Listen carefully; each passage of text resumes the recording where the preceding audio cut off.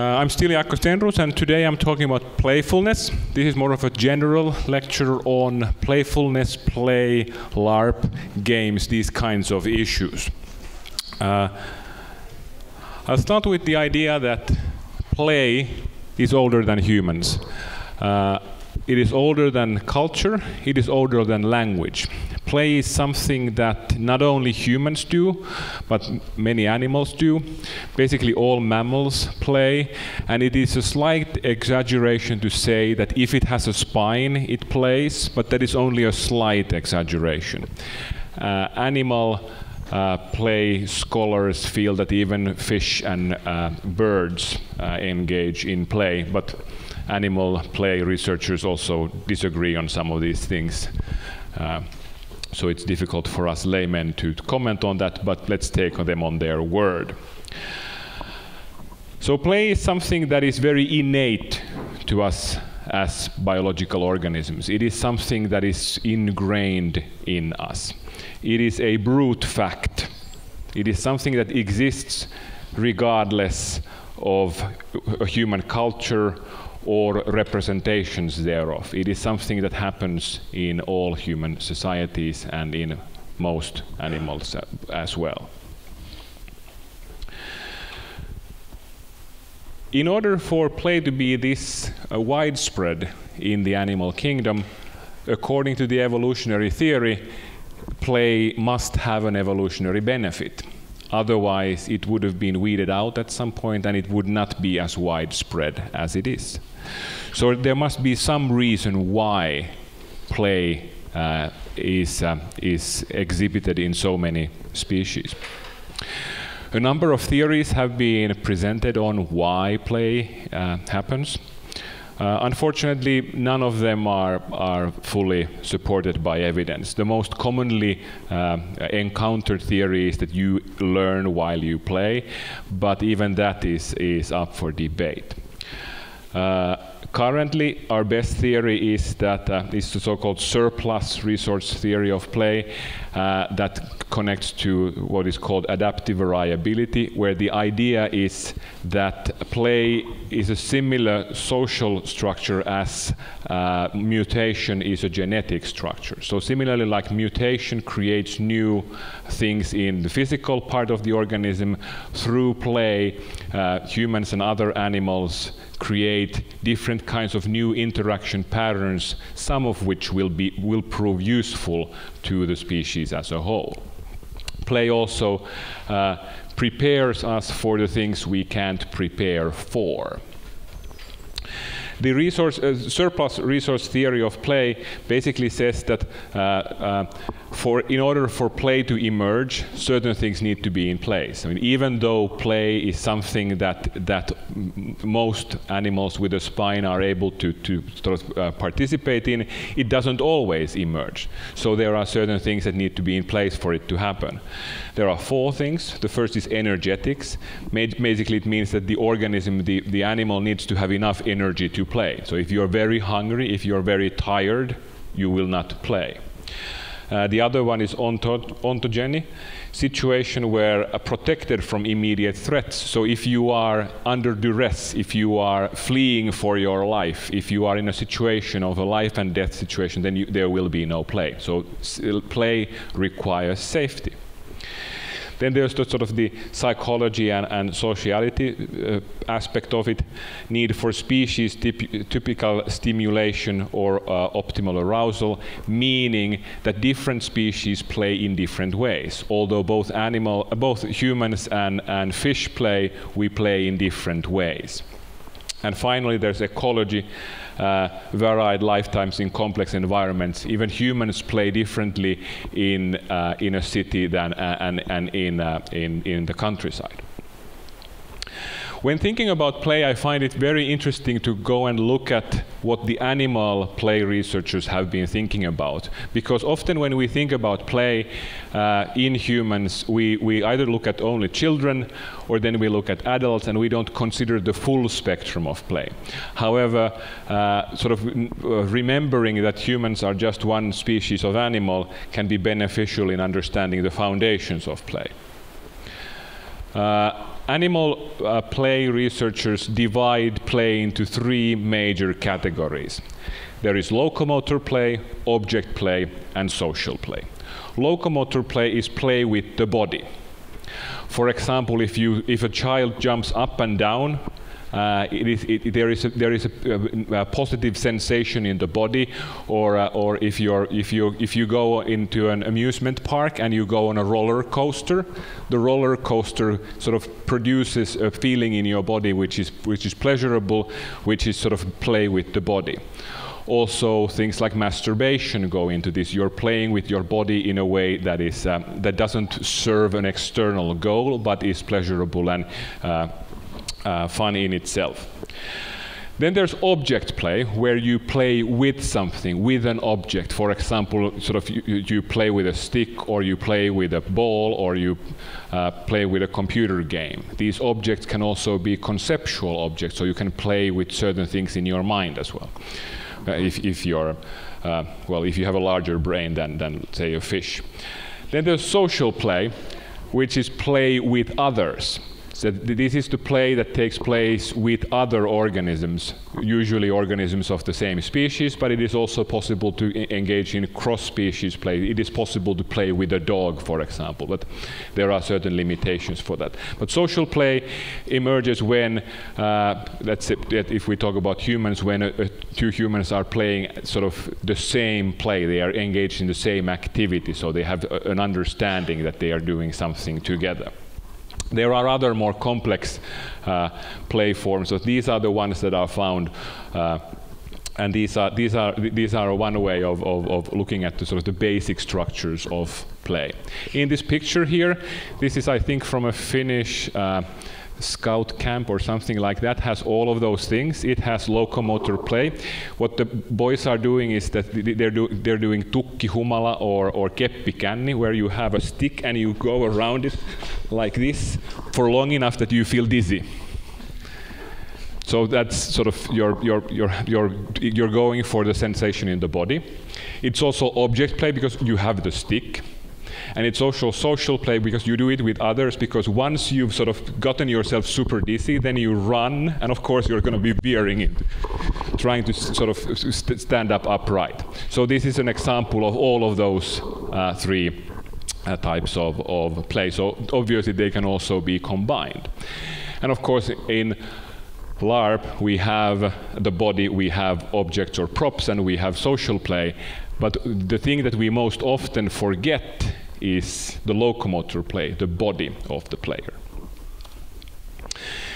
In order to, when we start to sort of uh, untangle uh, play, one of the things that I find interesting is separating play and playfulness.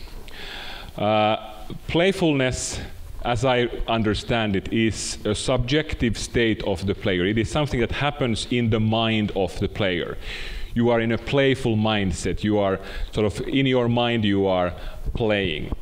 And uh, so then, what is that mindset in your in your head? One way to think about it is that we have two different meta motivational states, two different attitudes that we can take towards an activity. You can be in a playful mindset, or you can be in a goal-oriented mindset. So, playful mindset is when you are doing something for the sake of doing it, and a goal oriented mindset is when you are doing something for having it done. For example, if you are um, cleaning up your apartment, would you exchange the cleaning up for having a clean apartment, or is the cleaning up of the apartment the thing that you want to do? Or similarly, if you are dancing, would you rather be dancing or already have that dance out of the way? That's one way to sort of think about whether you're doing it for the sake of doing it or if you're doing it for an external purpose. So playfulness uh, uh, or or uh, goal-oriented mindset. And this is um, this, uh, this playfulness is something that happens inside the mind of the player. It, it, may not be visible, it often is, but it is something that is, is, uh, happens within the player. Also, it has no moral dimension. Uh, being in a playful mindset isn't good or bad. It isn't uh, uh, evil or nice. It just, it, it's something that just happens.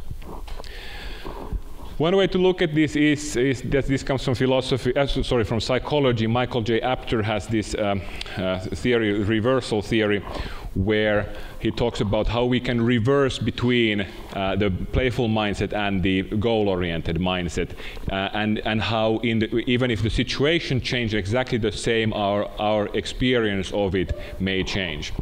So there's two lines. One of the one one the uh, the dotted line is is uh, paratelic, which is playful mindset, and the, and the continuous line is, is a goal-oriented mindset.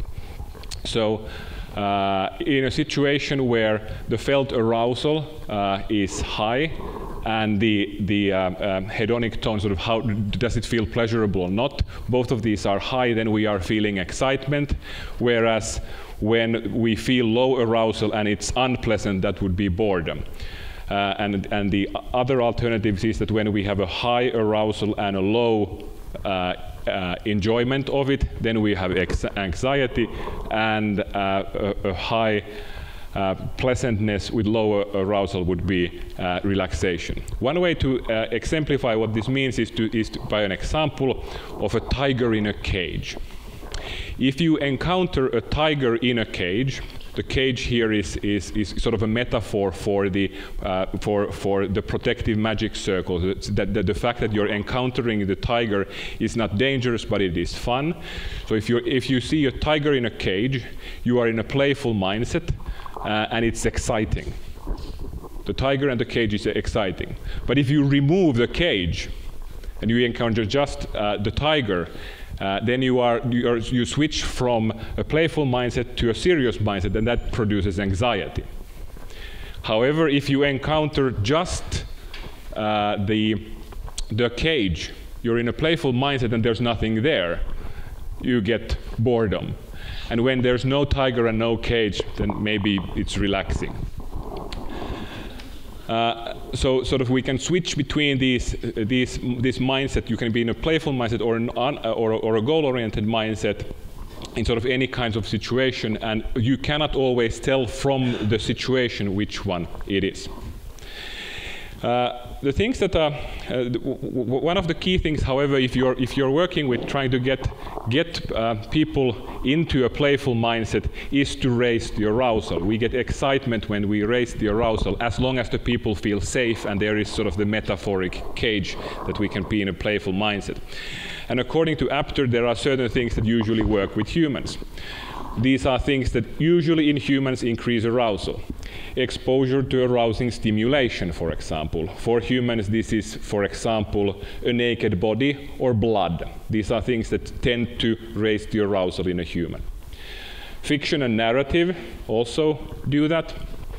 Challenge, if accepted, uh, as long as it's not too difficult exploration, if you encounter new territory, that raises arousal for, uh, the, and the evolutionary reasons why it's developed in this way is, is fairly easy to see here.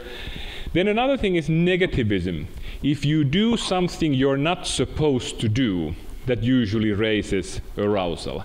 Uh, it is exciting to do the things that you're not supposed to do. This is, this is how humans operate.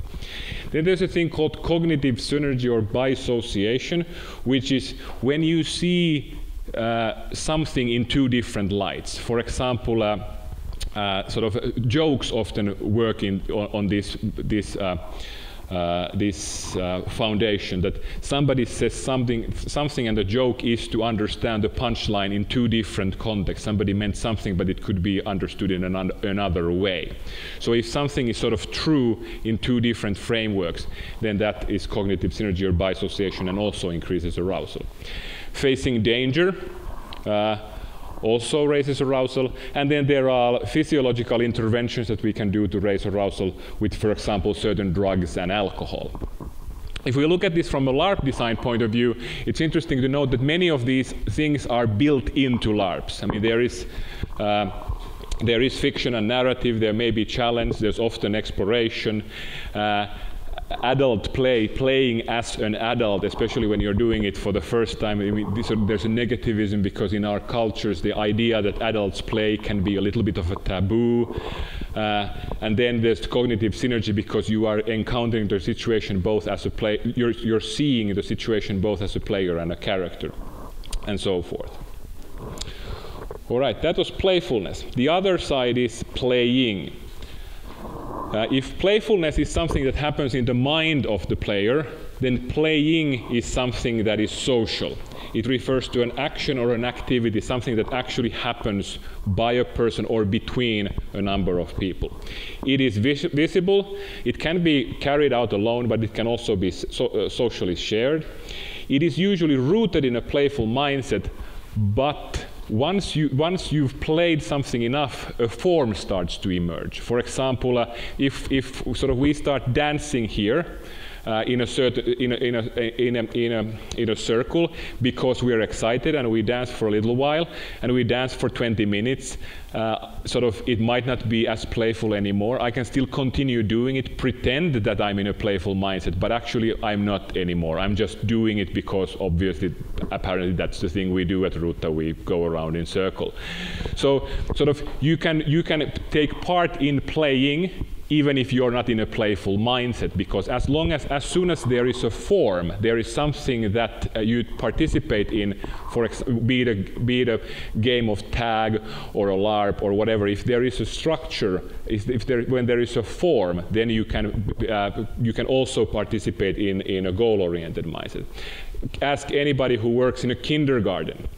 They work they they play with kids every day but that playing for them is usually very much work. It, they're in a, often in a goal-oriented mindset.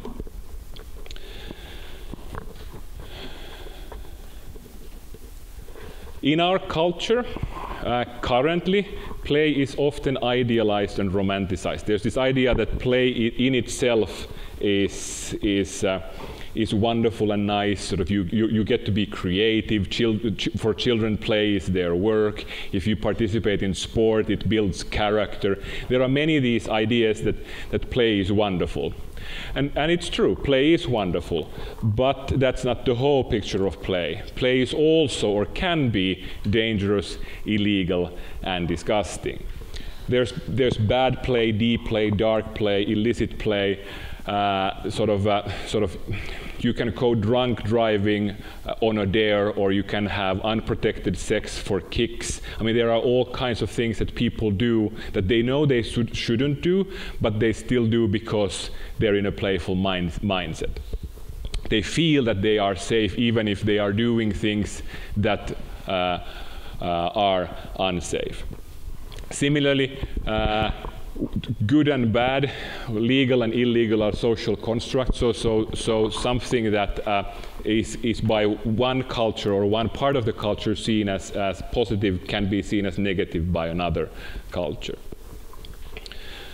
Another uh, another uh, view about playing that we have in our culture is that play is seen as deeply connected to creativity and culture. There's this idea that uh, creativity and innovation and improvisation and art are connected to play, and they are.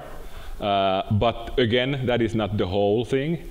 Uh, play can be a wonderful creative space, but play is, is um, not just that. Uh, play can be also terrible and repetitive. Um, it can be compulsive. I mean, if you, once you've played 400 uh, different rounds of, of Candy Crush Saga, you can't really say that it's very creative or innovative or sort of creative of art.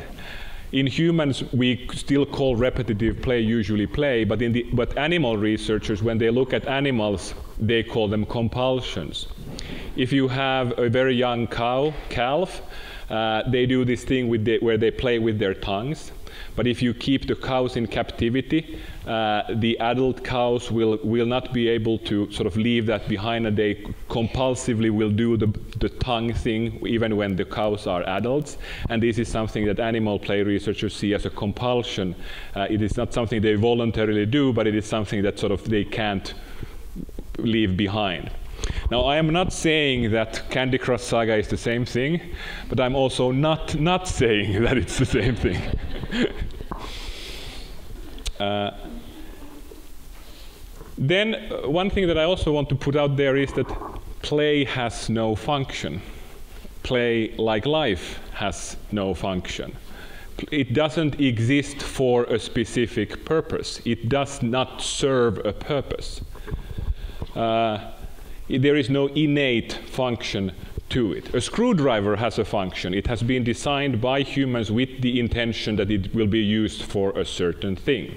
Play in itself in organisms does not have a function.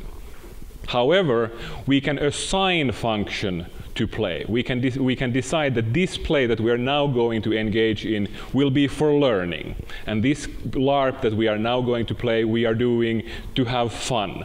And this uh, LARP we are now setting up, uh, we are setting it up as art so that we can gain status in the art world, for example. So there can be different assigned functions that we assign to, to, to play, but play in itself does not come in, built in with a function like a screwdriver.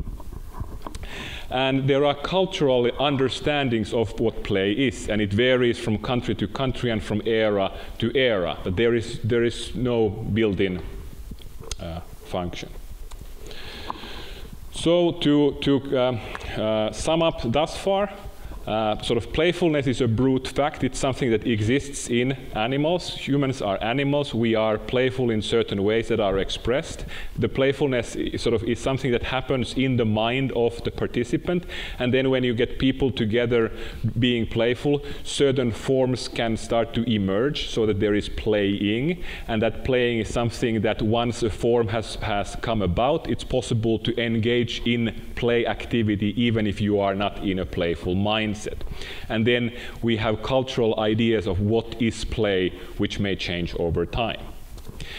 Now, since it's possible to be in a playful mindset even when you're not, even when, since it is possible to be in a playful mindset even when you are participating in play, it's also possible to be in a playful mindset when you are not participating in something that would be seen as play. So when you're in a playful mindset and playing, that's sort of classic play. When you're not playing, when you're in a goal-oriented mindset in something that is not seen as play, then it's obviously not play. But then we have the gray areas. When you are participating in uh, playing or in a game, for example, but you are in a goal-oriented mindset, that would be called instrumentalized play. For example, when you use play forms to teach something. That could be a goal-oriented instrumentalization. Or if we think about professional athletes, people who get paid to play ice hockey, uh, then, then we talk about instrumentalized play. Uh, then uh, there are sort of, it's possible also to be playful in a, in, in, in a setting that is not supposed to be playful. For example, if you're skateboarding on a street, a street is not meant to be a playful space, at least not always. So you are sort of appropriating that space for play. Or for example, if you're sitting in a super boring meeting and you want to entertain yourself and you decide that you will add um, to every uh, point on a slide or every sentence that somebody says you add at the end in bed and then you're just sort of making fun in your mind and sort of sort of appropriating that meeting for your own pleasure in bed. So then we come to LARPs and games and toys and other things. So all these things that we have that are built on play, they are tools for play. So th these are some things that we use to play. We have all kinds of social, materially instrumentalized playfulness, like games is the most obvious example. Uh, and in games, they can be either artifacts or activities. So the, the idea of, of uh, running, uh, uh running competition or doing tag or hide and seek, but also artifacts like like Monopoly box or Carcassonne or things like these. But we have other things also. We have toys, uh, playgrounds, puzzles, sports simulations, but also things that are sort of incomplete that invite you to do something like sport equipment, art supplies, costumes, masks, these all in invite play. And if we get further away, sort of more conceptual level, we can talk about rituals, tools, fictions, competitions, performances that somehow invite play. Now, LARP, LARP is institutionalized play in the sense that we have, we have uh, uh, uh, constructed together the rules and we share those rules and we share an understanding of how it's supposed to be. We treat it as play and we will be playing, but there is a, there is a sort of a context uh, and, and, a system that we are using when we are playing. It's sort of a ludic system. I'm using ludic. I'm, I'm going to Latin so that I don't use the forbidden word here. Uh, so how do we then, how do we institutionalize play? How do we get to a LARP? Uh, how do we build it uh, together? How do we build the system uh, mm, of rules? Basically, there are three parts. First, we have constitutive rules. When we start LARPing, uh, there are certain rules that we need to follow. And here the most obvious example comes from games. Sort of how do our games constructed? They're constructed with rules. For example, football doesn't make any sense unless, un unless you follow the rules. In fact, if you do not follow the rules of football while playing football, you are not playing football. These rules constitute the activity. Saving that spherical thing from going into that net only makes sense if we all follow the rules that constitute this activity. And this is basically the same for LARP. If we don't follow the rules, it might be nonsensical uh, what, it, what we are doing. The other thing is collective intentionality, which is also talked of as inter-immersion. The idea here is that, is that sort of when we start doing these things, we need to do them together. It's not sort of us doing similar things side by side, but it is something we are doing together as a group, sort of we intentionality my doing something only makes sense in the context of you doing the same thing. And this is basically the same thing in the animal kingdom when you have a pack of animals hunting. They're not hunting individually, they're hunting as a collective. So this is again something that is built into us. So for example, if I start pretending that I'm Conan the Barbarian, it will be ridiculous. But if all of you pretend with me that I am Conan the Barbarian, then maybe it will start to feel real and maybe we, will we'll get somewhere. Maybe, maybe not Conan the Barbarian for me, but you get the idea. Uh, and then the third one is assignment of function which means that sort of, sort of we, uh, we assigned a meaning to the thing that we do. And this works on a number of levels. Uh, for example, we assign a meaning to a paper that this is money and this is worth 10 pounds. And we agree that in this LARP, that is what happens. But on the that, that, and that's how we build the rules within within the fiction. But also we may assign function to the whole LARP. That this LARP is for fun, this LARP is for education, this LARP is for exploration, this LARP is for getting funding. I mean, whatever thing we are, we, are, we are doing. And then we can also build a power structure within the fiction so as to who gets to decide within the LARP how do we assign function, what is uh, what becomes real within the fiction. For example, usually the LARP organizers have much more power within the LARP as to, uh, as to what is real there, whereas the uh, player participants can, for example, decide what is real in their characters. They, well, how do they uh, communicate there? So LARPing has a basis in play, but players need not be in a playful mindset while they are playing. It is possible to be in a goal-oriented mindset when you are playing. If the function of LARP is to be entertaining, at least on some level, then encouraging playfulness is a good idea because that is something that people usually enjoy. And I think LARP as a form is quite playful. Uh, many of the methods that Apter listed to raise arousal, for example, function here. One thing also that we could no notice that seriousness and playfulness are not its op each opposites. You can be sort of seriously playful as well. So these are these they don't cancel each other out. They're not at the other ends of the fader, but can can coexist. So it is possible to have serious play. And uh, I mentioned in the beginning that there are three types of, uh, of sort of locomotor play, social uh, locomotor play, object play, and social play. We have two more which, uh, that are often come up, which are pretend play and rule play. Pre pretend play is basically pretend to be something you're not, acting as if which is, of course, the foundation of role playing. So, again, it is a foundational way of playing. Uh, if you don't believe me, you can try to communicate the instruction, you are a secret agent, to someone without using any terminology relating to pretending. It is a little bit difficult. And of course, rule play, play with rules, uh, is something that is also important in, in uh, LARP. So the power of play is, is, also that it is perceived often culturally as just play. When we are uh, engaging in an activity that looks like play, we can get away with things that we might not be able to get away with otherwise. So play also generally act as an alibi. And another thing about play is that play makes rules explicit. Uh, the three rules for building a LARP uh, uh, constitutive rules, assignment of function, and uh, collective in intentionality are the exact same rules that we use to construct the social reality in which we are. So the same ways we build our fictions are the same ways we build the social reality in which we uh, are every day. And when looking at LARP, we may be able to become better at perceiving how those power structures function.